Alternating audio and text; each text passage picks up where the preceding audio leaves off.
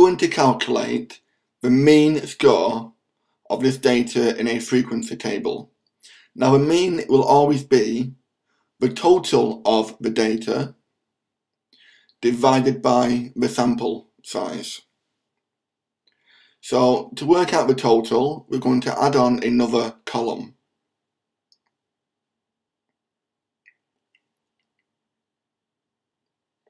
Now, the total of each. Well, first of all, you've got 1 multiplied by 17, so there's another total of 17 score here. And then 2 times 19 has a total score of 38.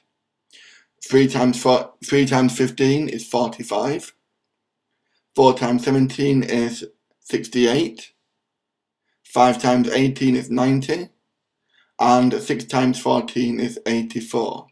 Now the total of that, or the sum, is 332 by adding all of them together. So 332 divided by the sample size, which it tells you as 100,